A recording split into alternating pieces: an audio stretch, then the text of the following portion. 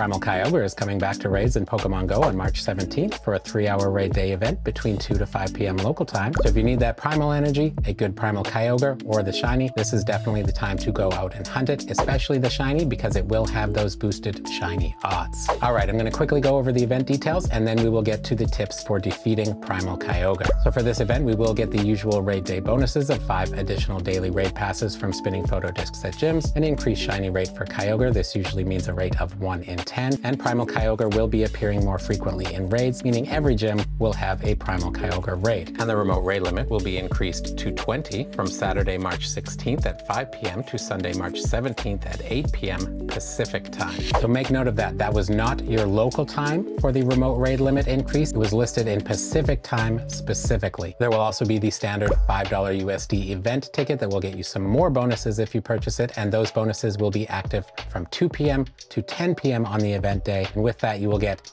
eight additional raid passes from spinning photo discs in gyms, an increased chance to get rare Candy XL, as well as 50% more XP and two times Stardust from defeating raid battles. The question then is, is Primal Kyogre worth that $5 ticket? Now, of course, if you really like this Pokemon or you really want the shiny, then it might be worth it to you, but in terms of meta relevancy, let's take a look. Primal Kyogre has the base stats of 353 for attack, 268 for defense, 218 for stamina, and a max CP of 6,672.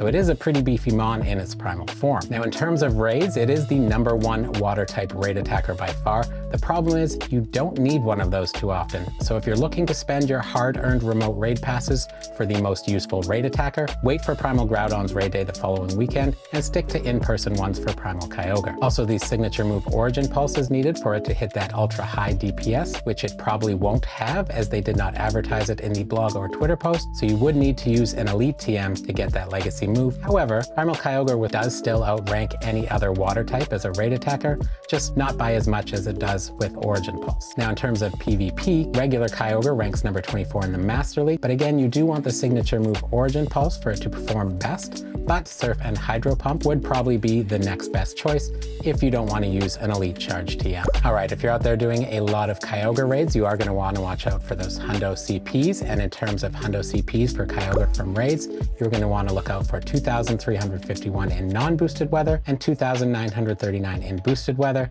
and of course, because it is a water type, that boosted weather is going to be rainy weather. Now, because this is a primal raid, you are going to want to get as much primal energy as possible, which means you're going to want to use your best counters to take Kyogre down as quickly as possible. Now, as a strictly water type Pokemon, Primal Kyogre is weak to both grass and electric, so some of your top counters are going to include Mega Sceptile, Mega Rayquaza, just because he hits so hard with that Dragon Ascent move, Kartana, Zekrom, Mega Venusaur, Shadow Raikou, Zarude, Xurkitree, Mega Manectric, and Shadow Tangrowth. Now, if you don't have some of those top counters and you're looking for some more budget options, you can go with Chesnaught, Roserade, and Decidueye with their grass movesets, or Magnezone with its electric moveset. Now, if you still need more Pokemon after that to fill out your team, then just put in your highest CP Pokemon that have grass or electric type moves, preferably Pokemon that are also grass or electric typing, as that means they will get Stab, which if you don't know is same type attack bonus. So when a Pokemon uses an attack that is the same type as it, it gets a little bonus to its attack damage. Now these will be Primal Kyogre raids, so unlike the Hisuian starters we had before in raids, these ones will be much harder to take down. So I do recommend using a Mega that will take down Primal Kyogre quickly, as that will also get you the most amount of Primal energy. However, if you have a very big team and you don't think you need that, you could also go with a Primal or Mega to get you the most amount of candies. And in that case, your options would include Mega Blastoise, Mega Slowbro,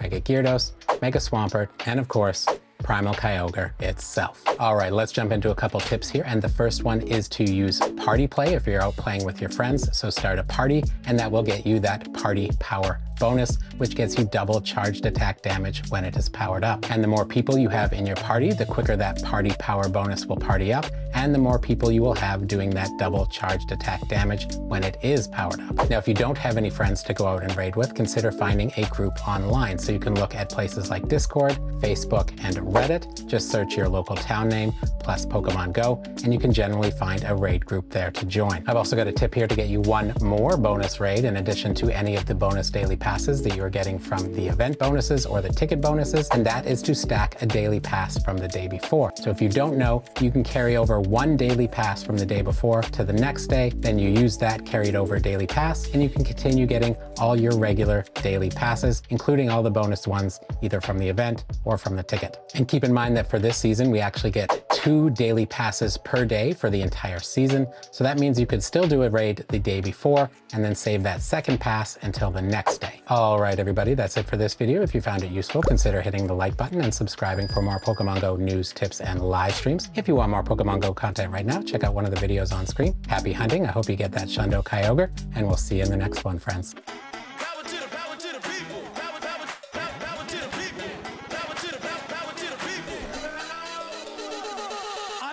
Something incredibly funky.